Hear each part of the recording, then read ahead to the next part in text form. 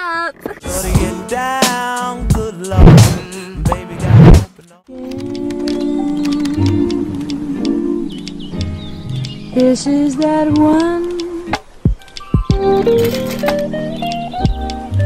Okay, what is up guys? We are on our way to detox yoga and after that I'm gonna get coffee. I don't even want to know how terrible I look on this camera right now. I know it's bad, I just know it is. Hello, I am dead. It is fully cloudy outside, but I look so ratchet. I'm gonna wear sunglasses. I guess I got used to it. I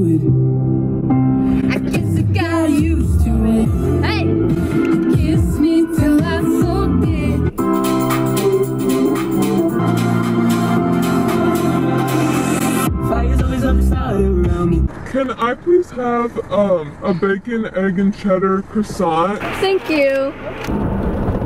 Oh, that's gas.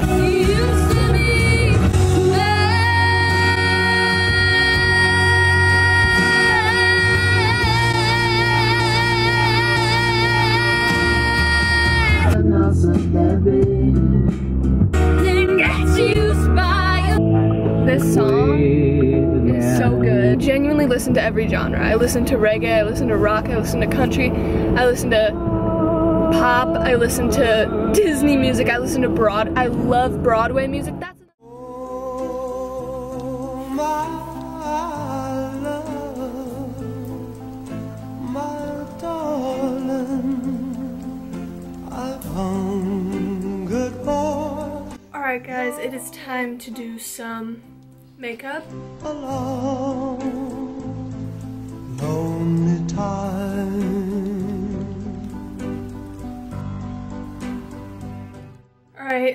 Gonna update you guys on my life while I do my makeup because I feel like that's more interesting. So it's my first year in college and I am struggling. Yeah, it's it's hard. It's not easy. It's not an easy adjustment. I didn't rush, so I don't have that like platform to meet people and I'm not like an extrovert, so it's been really hard for me to just like go up to people and be like, hey, what's up? I think another thing that can be kind of hard is like, I don't love to party. I mean, I can go and like make the most of it, but I, have never loved it. Like, it's hard to get myself to go because I just don't really enjoy it. It's hard to navigate college when you don't enjoy those things. To be real, I never really wanted to go to college. I was so afraid that I just wouldn't fit in. I'd be anxious, I'd be depressed away from my family. All my biggest fears came true. No. Share with you guys my um, what's been getting me through freshman year. And it's two words. Seek discomfort. Discomfort is what makes you learn, what makes you grow as a person, what makes you get over these fears and overcome these like worries. I'm spraying this Cocokind Rose Water Spray. Oh, wow, I love that noise. I'm gonna add some Glossier perfume. Now realizing I forgot to do the absolute favorite part of my routine. So I'm gonna show you this duo that I just discovered. The Charlotte Tilbury Love Trap.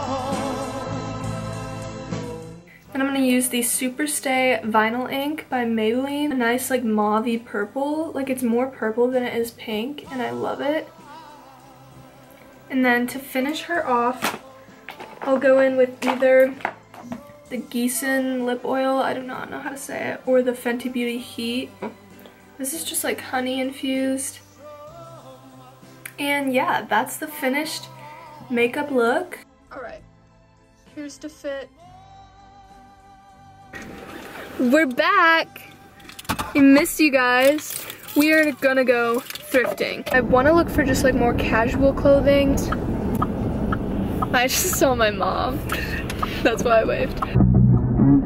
This is like my villain song. Like I turn into a villain when I listen to this. Oh, and when you dance with the devil, the devil gonna dance with you. Oh, when you play with fire, the flames gonna burn you. Thank you. You too. Dude, this is like my new addiction. Cherry limeades. Literally my new addiction. Okay, time to go inside. your baby leaves find you all alone. But I did in fact purchase this boss hat and I don't regret it. Keep you free and clean.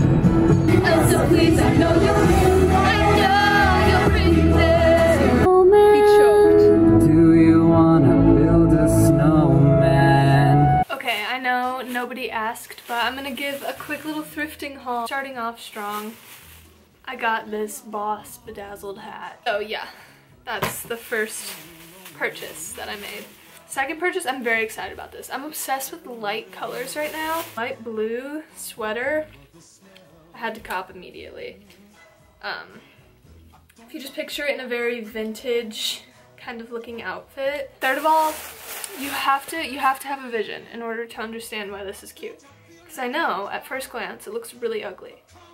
But if you picture it in like a retro Emma Chamberlain type of way, it's cool, right? Then I got these tan leg warmers. Kind of grossed out touching them right now, but it's okay. I got these like vintage looking socks that I'd like, I wouldn't wear them that tall. I'd like scrunch them down. All right, hey guys, it is the next day. Um, I just got back from my hair appointment and then I went to Sephora. Um, I'm about to take a ginger shot. Also, this is for anyone who came here from my TikTok and is like a Joshua Bassett fan.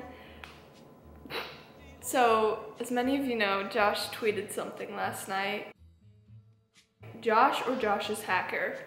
I guess we'll never know. People are so invested in it, and I don't know why they're so invested. Like, I knew that people in the fan base would be invested, but like, I'm seeing TikToks with like a hundred thousand likes about it, and I'm like, why are people like, why is this that? Like, I just don't think it's that big of a deal in my opinion. But I also think people can't prove the tweet wrong by posting a video of him a year ago because people's thoughts change so quickly and you never know. Like, he was in such a, I don't know.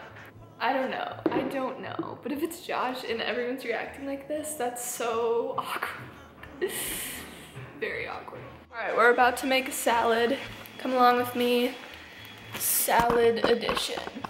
But we're gonna go in with some spring mix. No, I won't shed a tear just as long as you stand, stand by me.